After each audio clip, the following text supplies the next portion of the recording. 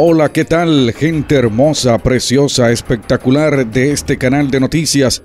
Es un inmenso privilegio saludarles nuevamente. Les habla Michael Londoño para presentarles la información que ustedes necesitan saber. Así que prepárense porque vamos a comenzar con cada una de ellas. Amigos supervirales, Mundo González desafía a la dictadura y es que José Vicente Jaro, abogado del presidente electo Mundo González, descartó que éste pida asilo político en alguna embajada tras la orden de aprehensión que le dictó el régimen de Nicolás Maduro el pasado 2 de septiembre. No está planteado ni planificado ese escenario, una decisión muy valiente. Su mayor deseo es estar cerca de los venezolanos y corresponder el apoyo que le han dado dijo Jaro en una entrevista con la W Radio, en la que aclaró que González debe ir de casa en casa para resguardarse de la dictadura. El abogado detalló que ya tenían conocimiento de la orden de captura y considera que publicarla a través de un comunicado fue innecesario. Además indicó que González no debe ser judicializado porque no tiene relación con los hechos que nombra el Ministerio Público. Se trata de una investigación de quien creó el dominio de la página web donde están ubicados los resultados verdaderos de los comicios del 28 de julio. Ahí están las actas entregadas por cientos de miles de ciudadanos que hicieron la veeduría en las mesas, explicando que no hay norma que establezca esto como carácter penal mis amigos supervirales, y para darle más credibilidad a esta información, los dejo con el audio de la W Radio en esa entrevista con el abogado del Mundo González, José Vicente Jaro. En modo alguno, en modo alguno, no está planteado, no está planificado, en modo alguno eh, está planteado ese escenario, porque con el Mundo González es una decisión muy personal, muy valiente, por cierto, admirable. Yo particularmente le creo muy valiente, admirable.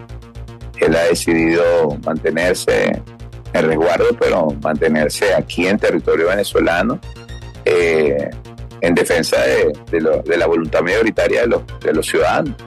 Eh, ahorita una situación de estas de asilo, de ir en calidad de huésped a una embajada, ya sería pues colocarse un tipo de protección que lo alejaría de los venezolanos y él por el contrario su mayor deseo es estar cerca de los venezolanos y corresponderles con la confianza que los venezolanos le han dado con una votación abrumadora. Entonces eso no, no, no, no está planteado. Amigos, definitivamente creemos que después de escuchar esto, los venezolanos tienen más motivos de seguir luchando, de esperar, de armarse de mucha paciencia y obviamente de no dejar sola a María Corina y a Edmundo González en este momento tan importante. Así que no piense la dictadura de Nicolás Maduro que el mundo González va a salir huyendo de Venezuela. No, señor, que se bajen de esa nube los chavistas, porque habrá el mundo para rato y los venezolanos simplemente están esperando por su libertad para tener ese nuevo presidente que sin duda alguna no tiene mancha y no está rayado como dicen en ese país. Bueno, señores, seguimos atentos a lo que siga ocurriendo con esta orden de detención en contra del Mundo González y obviamente de todo lo que vaya informando su abogado José Vicente Jaro. Amigos supervirales, oído al tambor, porque el periodista Castro Ocando ha dicho que han utilizado cinco aviones de PDVSA para trasladar el polvo blanco del régimen de Nicolás Maduro. El periodista Castro Ocando afirmó que cinco aviones registrados a nombre de Petróleos de Venezuela PDVSA fueron utilizados para trasladar el polvo blanco desde Venezuela hasta muchas partes del mundo. Esta constante vigilancia de la flotilla de aviones chavistas que se han utilizado no solamente para actividades diplomáticas oficiales, también para actividades criminales, ha habido muchos de estos aviones utilizados para trasladar oro a Turquía, a Dubái y para transportar dinero en efectivo desde Moscú o desde otros lados a Venezuela. Se han utilizado cinco aviones de PDVSA para trasladar el polvo blanco hacia Centroamérica, comentó en el programa la entrevista con Miguel Ángel Rodríguez, por ello, el periodista Castro Ocando considera que se trata de una flotilla que ha llamado la atención y vaticinó que el monitoreo por parte de Estados Unidos se va a incrementar.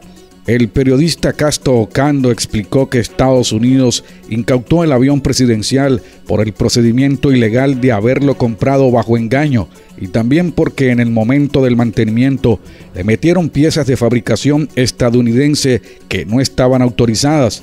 Casto Ocando recordó que el avión fue intervenido el 22 de mayo y desde entonces comenzó el proceso judicial que terminó hace unas semanas, pero considera que esta acción es solo el inicio, porque el mensaje de Estados Unidos en las últimas horas para el régimen es que donde quiera que vayas con estos aviones, corres el riesgo de que te los quitemos Así que Estados Unidos no está jugando y obviamente que está llamando la atención en las últimas horas y en los últimos días por este seguimiento que desde hace mucho tiempo tenían que haberlo hecho.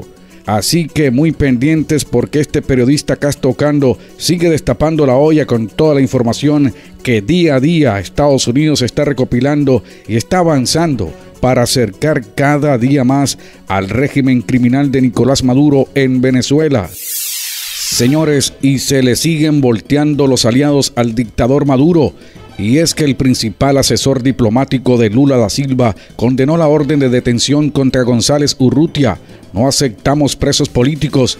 No se puede negar que hay una escalada autoritaria en Venezuela, afirmó Celso Amorín, jefe de la Asesoría Especial del presidente de Brasil para Asuntos Internacionales. Celso Amorín, el principal asesor diplomático de Brasil, dijo que la orden de detención contra el líder opositor venezolano Edmundo González Urrutia era muy preocupante y algo que no se debe hacer.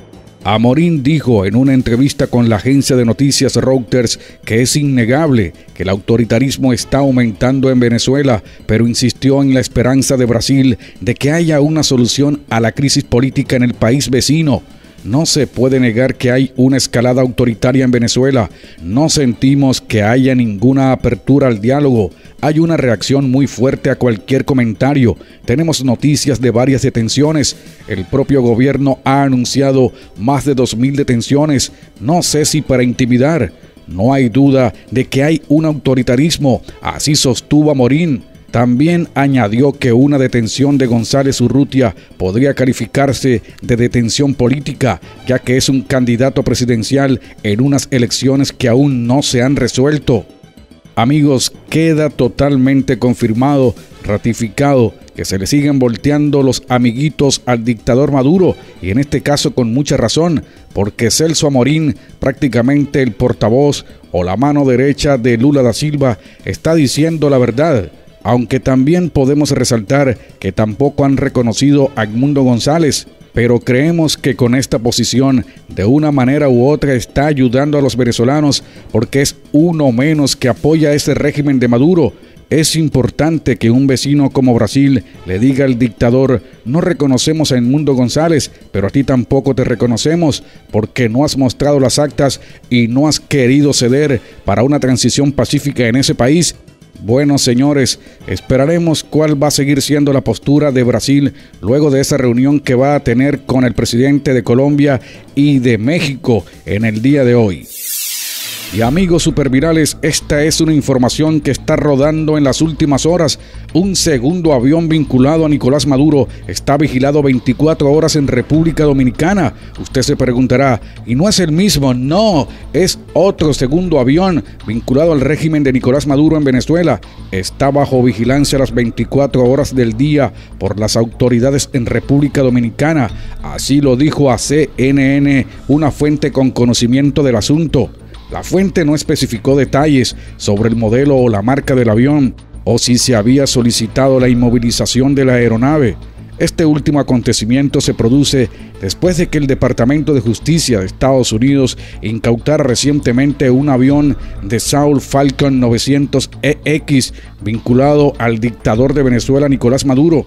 Este avión, vinculado a Maduro y a personas cercanas al mandatario venezolano, fue incautado en República Dominicana antes de ser trasladado a Florida, en los Estados Unidos, pero hay un segundo avión vinculado al dictador y eso lo ha conocido CNN de parte de una fuente que tiene el conocimiento sobre este asunto. Así que prepárense señores porque siguen las buenas noticias. Vamos a ver qué pasa con ese segundo avión. Este hombre definitivamente, bueno, ahí está. Para los que han seguido durante todos estos años a ese régimen de Maduro, a los que parecen focas cada vez que sale a hablar. Los que alguna vez votaron, por supuesto, algunos están arrepentidos, pero los que siguen apoyando, ahí está, mientras que ustedes están en Venezuela, quizá no tienen que comer, viven muy mal, no hay nada en los hospitales, no tienen medicinas, esta gente tiene muchos aviones para transportar oro, las riquezas de ustedes la llevan a otros países y por si fuera poco, la usan ilegalmente para llevar el polvo blanco a diferentes países del mundo. Ahí se las dejo y por supuesto, hasta aquí la información en este canal de noticias de Víctor Londoño. Ha sido un inmenso privilegio estar con ustedes. Me despido, soy Michael Londoño y los invito para la próxima edición cuando estará en vivo con ustedes Víctor Londoño. Hasta entonces, y no olvides compartir la noticia, darle like y suscribirte si aún no lo has hecho. Para todos que la sigan pasando muy bien y que el Todopoderoso los bendiga grandemente.